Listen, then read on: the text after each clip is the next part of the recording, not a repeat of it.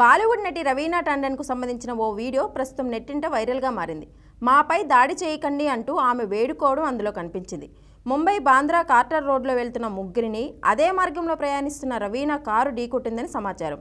బాధితుల కుటుంబ సభ్యులు అటుగా ప్రయాణిస్తున్న కొందరు ప్రశ్నించగా రవీనా డ్రైవర్ వారిపై దాడికి దిగినట్టు తెలిసింది. ఈ క్రమంలో రవీనా కారు దిగి వచ్చి బాధితులపైనే మండిపడ్డారని దీంతో అక్కడున్న వారు ఎదురు తిరగ్గా ఆమె దాడి చేయొద్దంటూ కోరారు. ఈ ఘటనను కొందరు తమ ఫోన్లో చిత్రీకరిస్తుంటే రికార్డు చేయొద్దని రవీనా కోరుతున్నట్టు అదే వీడియోలో కనిపిస్తోంది.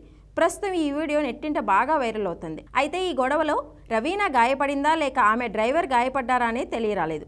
బాధితురాలు కుమారుడు మాట్లాడుతూ మా అమ్మ చెల్లి తదితరులతో కలిసి బయటికి వెళ్ళాం. అక్కడి నుంచి తిరిగి వస్తుండగా రవీనా కారు మా అమ్మని ఢీకొట్టింది.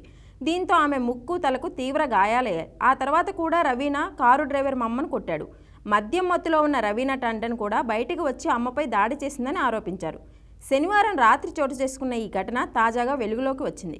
ఘటనపై రవీనా ఇంకా స్పందించలేదు. కారు రివర్స్ చేసే క్రమంలో ప్రమాదం చోటు చేసుకుందని పోలీసు అధికారులు చెబుతున్నారు ఇప్పటి వరకు దీనిపై ఎలాంటి ఫిర్యాదు నమోదు కాలేదని తెలిపారు. రవీనా ఇంటి సమీపంలోనే ఈ యాక్సిడెంట్ జరిగిందన్నారు పోలీసులు.